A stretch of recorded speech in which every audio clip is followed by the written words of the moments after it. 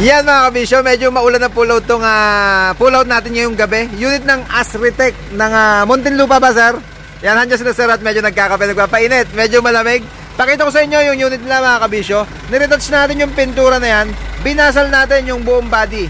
Mga kabisyo, 16 feet yan na single tire Hino unit. 7 feet yung taas niya, parang uh, kung di ko kakamali, 7 feet, 6 feet yung lapad naman niya. Yan, ikutin natin. Nung dinala nila dito yan, cab and chassis lang. Yan, pati windbreaker mga kabisyo, tayo na nagsalpak dito niyan sa tarima natin. Yung uh, frame nung mismong uh, body nila, stainless yung ginamit natin mga kabisyo, paikot. Yan, stainless. Aluminum yung uh, body niya. Sabi ko nga 16 feet mga kabisyo, naglagay tayo ng bintana dito na medyo meron tayong uh, visor dyan syempre para yung uh, agos ng tubig ay hindi direktang uh, bababa dyan sa bintana plate number at uh, not for hire Siyempre, yari natin sa tarima natin. Keep distance. Tsaka yung uh, sticker natin, siyempre, certified kabisyo. Plate frame, ginawa na rin natin na stainless. Plate light, meron na rin. Rail bumper, binalot na lang natin na stainless. Uh, yung side green mga kabisyo, ordinary na lang ang ginamit na 3 liner. Pininturahan na lang natin ng item para bumagay dun sa rim at sa chassis niya. Yung gulong mga kabisyo, kung napansin nyo, medyo malapad kasi yung body natin. Pina-expand natin yan ng uh, halos stress ang nilabas niyan mga kabisyo. Kasi dati halos pantay yung uh, rim niya dun sa mismong labi ng gulong. Ngayon mga kabisyo, naka-expand na yan. Pinamasin shop na natin. Para medyo madayaan ba mga kabisyo palabas dito sa gilid para hindi masyadong uh, pasok na pasok yung gulong pag tiningnan. Yan sabi ko mga, mga kabisyo, hino. Pati yung uh, syempre yung side mirror niyan, binukan na natin.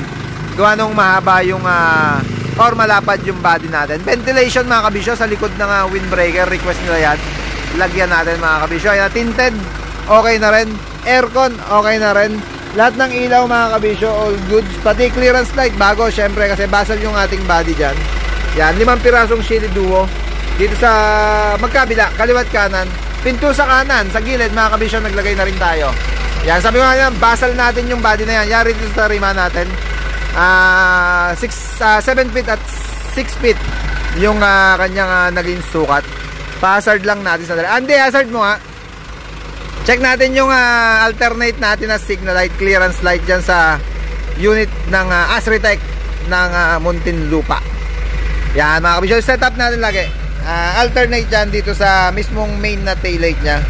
Pagka nagsisignal, meron pa rin tayong uh, warning dito sa magkabilang gilid. Ang ganda mga kabisyo, kung titingnan mo parang stainless yung uh, body nya. Medyo um, uh, basa lang yan at naulan nga mga kabisyo.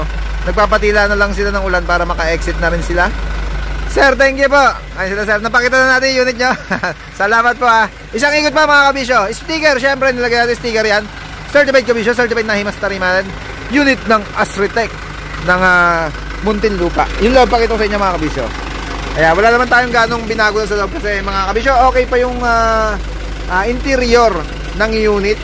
Kaya puro sa labas lang tayo nag uh, nag-customize mga kabisyo. Yan. Sabi ko nga, uh, aluminum body.